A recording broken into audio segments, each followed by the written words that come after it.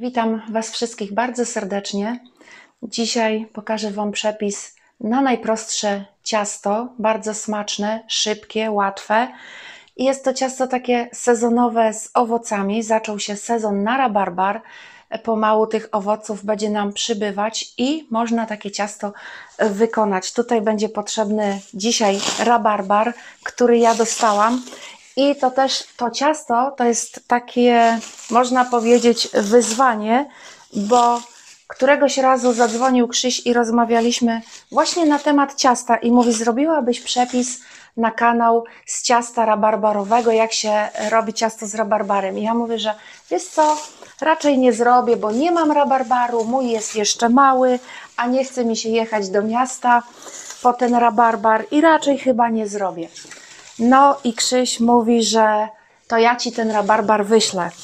Oczywiście śmiałam się, nie dowierzałam. Wczoraj rabarbar przyszedł.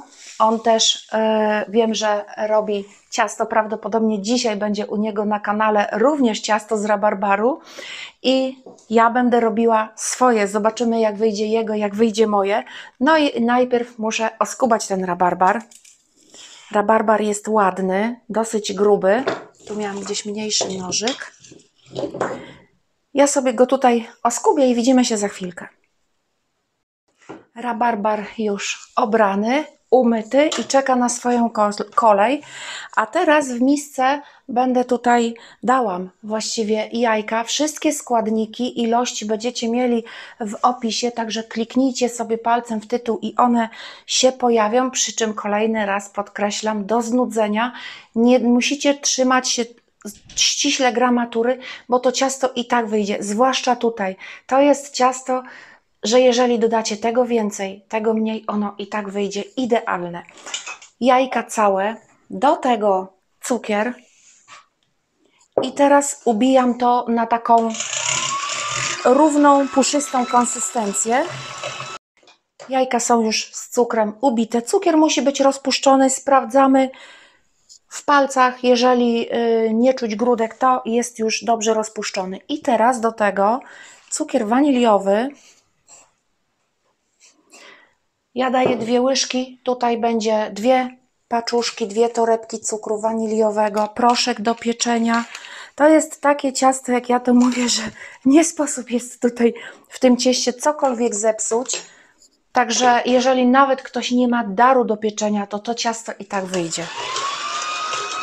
I teraz to lekko połączyłam. Do tego dodaję olej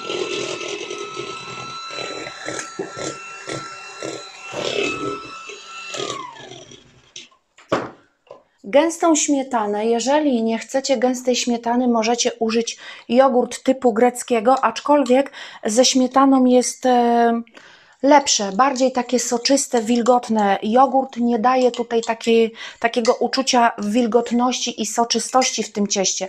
Także zdecydowanie polecam śmietanę, ale może być i jogurt.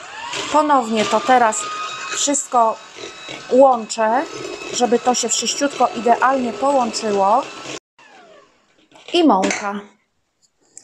Mąkę też będę odmierzać. Oczywiście ona musi być przesiana po to, aby uniknąć ewentualnych jakichś sznurków, paprochów w mące, a i po to, żeby napowietrzyć ją. Ona wtedy się napowietrza. Ciasto jest takie, nie jest takie zbite, można powiedzieć. Jedna szklanka jest. Tu u mnie w tym przypadku garnuszek Szczerze powiem, że w domu mam bardzo mało szklanek, bo uwielbiam garnuszki. Uwielbiam pić cokolwiek z garnuszka, z kubka. Także u mnie kubków jest bardzo dużo, różne kształty. Jedno jest wrobione. Teraz damy drugą. Tutaj idzie około trzech trzech szklanek, trzech kubków. Przy czym mąkę też dozujecie sobie sami y, ilość tej mąki, tak żeby ciasto było takie, zaraz zobaczycie właśnie jakiej konsystencji. Tego ciasta naprawdę nie ma co się bać. Najprostsze ciasto chyba na świecie. No i trzeci kubek.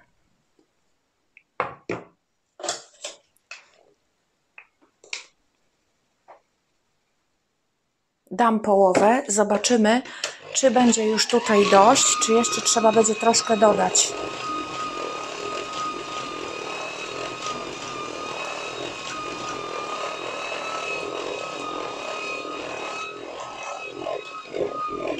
Jesz jeszcze troszkę. Bardzo dużo osób boi się ciast bez konkretnej gramatury, bez dokładnej gramatury. Ja tutaj zawsze podkreślam, to są stare przepisy, sprawdzone, gdzie piekły nasze mamy, nasze babcie i te ciasta, one zawsze wychodziły bez względu na to, ile się dało, czy powiedzmy łyżkę więcej, czy łyżkę mniej. I tutaj teraz to wszystko trzeba wyrobić. No tutaj, tak jak mówię, poszło trzy kubki. Ja zważę tą mąkę, ile y, powiedzmy się znajdowało w tych trzech kubkach i podam Wam tą gramaturę, żebyście mieli mniej więcej rozeznanie. I ciasto jest gotowe. Jest już wstępnie zrobione. Teraz dokładnie jeszcze wymieszam to szpatułą, żeby tutaj wszystkie ewentualne resztki mąki ze ścianek obrać. I do blaszki wykładam około połowę. Też będzie podany wymiar blaszki w opisie, także sobie tam zajrzyjcie. Tutaj teraz równo to rozprowadzę. W miarę równo, bo tutaj już nie musi być aż tak idealnie, bo to w pieczeniu i tak wszystko się wyrówna. Można wysypa, wylać, od razu wyłożyć, wylać od razu całość ciasta, ale później trzeba będzie owoce wciskać. A tak będzie po prostu łatwiej. I rabarbar teraz kroję na kawałki. Tutaj do tego ciasta można dodać różne owoce. Świetnie to ciasto się sprawdza z truskawkami, z jabłkami. Przy czym jak jest z jabłkami, można posypać troszkę cynamonem. E, truskawek już nie trzeba, bo one mają swój taki smak. Można z porzeczkami to zrobić. Mi chyba najbardziej tutaj smakuje z rabarbarem, bo A ja rabarbar... polecam z porzeczkami. A ty z porzeczkami, bo ty lubisz akurat porzeczkę. Jeżyny też bardzo dobrze smakowały i maliny. Tak, z tym tylko, że maliny puszczają więcej wody i ono będzie takie miało, i truskawka takie będzie miało jakby dziurki. A rabarbar, on tutaj się fajnie wkomponuje, ale każde owoce się nadają, każde dają inny smak. Ciasto jest po prostu takie delikatne. Także ciasto powstało dzięki Krzysiowi. Krzyś, pozdrawiam Cię tutaj teraz. E, przysłał mi nawet rabarbar. Słuchajcie, to jest po prostu siła motywacji. Nie wiem, siła prośby, bo tutaj właściwie on prosił, żebym podała przepis na ten e, placek. Także nie pomogły mi żadne tłumaczenia, że nie mam rabarbaru, że nie chce mi się jechać do miasta po rabarbar. Nie chciało się, jak to mówią, nie chciało się jechać, to przyszło samo mi do domu. Ciasto w wykonaniu jest bardzo szybkie. 15 minut i można go zrobić. I tutaj teraz resztki rabarbaru są na cieście i wylewam resztę tego ciasta. Tak, aby w miarę było równo, żeby pozakrywało tutaj ten, te owoce, bo to zależy, które, które dacie. No teraz na pierwszy rzut idzie rabarbar. Rabarbar w ogóle jest bardzo zdrową rośliną. Yy, zapomnianą już niestety. Odeszło się od uprawy rabarbaru. Kiedyś rabarbar był uprawiany na bardzo szeroką skalę. Moja mama też go miała dosyć dużo. Robiło się kompoty, sprzedawała yy, tutaj laski rabarbaru. Później on odszedł, tak jak wszystko, jak większość, do lamusa. Ludzie przestali go używać, a niestety, znaczy niestety, a stety właśnie on jest bardzo zdrowy dla naszego organizmu. Powinno się rabarbaru jeść dużo. Fakt, on jest kwaśny.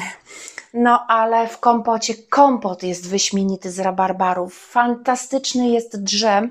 Ja też jak mam rabarbar, jak kupię czy dostanę, to y, robię dużo drzemu. W tamtym roku posadziłam sobie trzy krzaki rabarbaru, w tym roku posadzę jeszcze jeden krzak, żeby mieć swój. No i kruszonka, mąka, cukier, miękkie masło. I teraz siekam do uzyskania takiej konsystencji kaszy manny. Wygląda ona tak, ma taką konsystencję kaszy. I teraz dogniatam ją rękoma.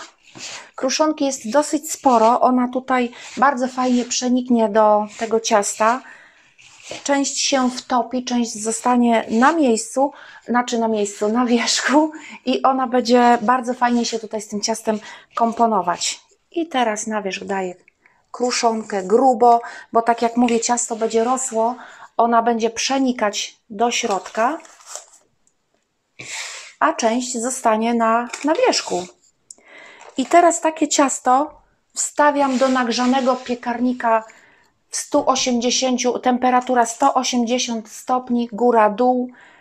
Piekarnik musi być prędzej nagrzany, także wstawiam ciasto do piekarnika ciepłego i będę piekła na patyczek. Z reguły to jest powiedzmy 45 minut. Po 45 minutach sprawdzę patyczkiem, czy się nie klei. Zobaczymy, ile będzie się piekło. Ciasto jest już upieczone, ono już mi trochę przestygło. Piekło się dokładnie 50 minut, także tutaj trzeba go sprawdzać patyczkiem. I teraz będziemy kroić. Ja w międzyczasie, jak ciasto mi się piekło, narobiłam gołąbków takie malutkie. Będę troszeczkę wkładać do słoików. I teraz rozepnę blaszkę. Krzyś wstawił na kanale również film z ciasta rabarbarowego i mówi, że nie jest to rywalizacja. Poniekąd może nie jest to rywalizacja, ale jak to nazwać? Jak przysłał mi rabarbar, no chyba postawienie przed faktem dokonanym. I wymuszenie zrobienia ciasta. Także Krzysiu, ty miałeś w tym swój cel, ale to będzie ci zapamiętane i policzone. Także pamiętaj. Tak troszeczkę żartem. Ale rzeczywiście, gdyby nie Krzyś, to to ciasto by nie powstało, nie byłoby tego ciasta, bo mój rabarbar jest malutki. Tutaj jest rabarbar od Krzysia. I teraz kroimy. Ciasto jest jeszcze cieplutkie. Mmm, jaki aromat tutaj się wydobywa.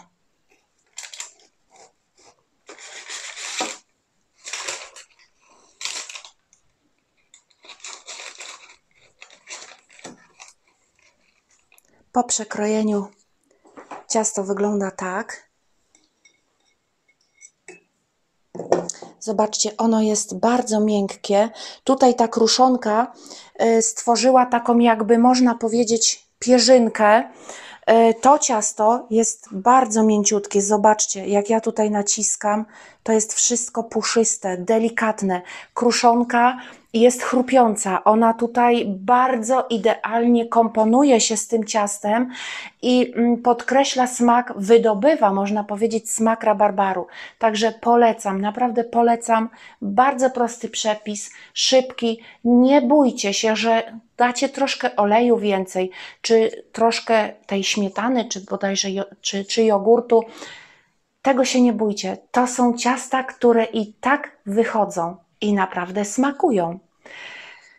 Także to by było tyle. Życzę Wam udanych wypieków, smacznego, wszystkiego, wszystkiego, co najlepsze na każdy dzień i takiego e, trochę żartopliwego podejścia do życia, tak jak my właśnie z Krzysiem nie rywalizujemy, ale po prostu tak jakby zmuszamy się, e, mobilizujemy, o bardziej chyba adekwatne słowo tutaj e, do tej sytuacji, e, mobilizujemy się, aby gdzieś tam jednak coś zrobić. Stawiamy się, można powiedzieć, na nogi do pionu. I tak powinno być. Tego Wam również życzę, takiego rozejrzenia się wokoło i przewartościowania swoich dotychczasowych priorytetów, bo naprawdę nie to złoto, co się świeci. Czasem zwykły kamień pośród innych kamieni jest bryłą złota, tylko trzeba umieć dojrzeć ten kamień, wyselekcjonować go spośród innych i zobaczyć w nim to, co jest najcenniejsze. Tego Wam, kochani, życzę, abyście nie przegapili żadnej życiowej szansy, która leży pośród kamieni. Trzymajcie się. Do następnego.